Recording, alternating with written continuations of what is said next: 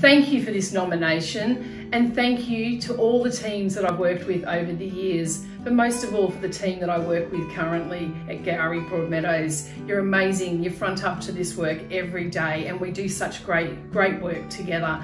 Thank you for all the people that have believed in me over the years and all the professionals and all the projects that I've worked on. It's been amazing and I've, I've learned so much.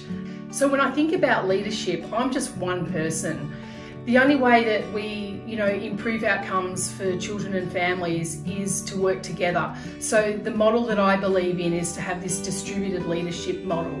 And what, what I also believe in as um, managers of service, we need to really empower the next generation of leaders and we need to make sure that they're really well supported and that when they're making mistakes, it's really just opportunities to learn. So across the country, there are thousands of people doing amazing work every day, but I'm just really fortunate that I work for Gowrie Victoria, which is an amazing organisation and really empowers people to be thinkers, be innovative, and do new things and take on new challenges. So thank you, Gowrie, for um, nominating me for this award.